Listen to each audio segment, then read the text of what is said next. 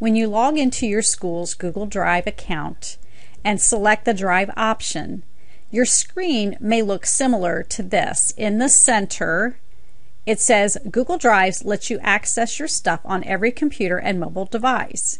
And then it has a blue link that says Download Drive for PC. Now, first, this is optional. You do not have to download it, it's an option.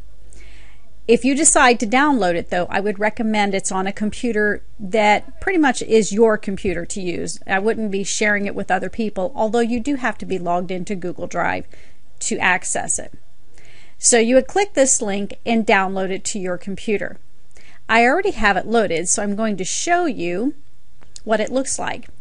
Once installed, it looks like it's just another place to save stuff whether it's your P drive or your C drive or whatever.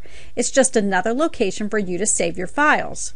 But the files are not getting saved on the physical computer that you're on. They are getting saved to what's called Google Drive's cloud storage. And the cloud storage is basically just a bunch of computers owned by Google throughout the world, and your stuff gets saved on them. Now, if you want to use Google Drive and you want to save some things over there, you can drag your files over to it. If I drag this file over to my Google Drive and release, I want you to notice something. It's now in the Google Cloud Storage Drive, but it is gone from the location where I had it on my computer. So I'm going to put it back. And I want to show you if you want to keep the file on your computer, but also have a copy of it in Google Drive, you'll just right click and drag it over there. And when you release your right mouse button, you'll have the option to either copy it or move it. So I'll say copy, and now I have a copy of this picture in my Google Drive, and it is still on my computer.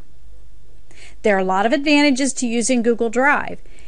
If you save files to your computer here at school, you have a computer you use at home, maybe you use your smartphone or an iPad or any kind of mobile device like that, if you use Google Drive and load it on all those devices, you will always have access to your files. So there are benefits. You have to consider if it's right for you, but that's how you use it.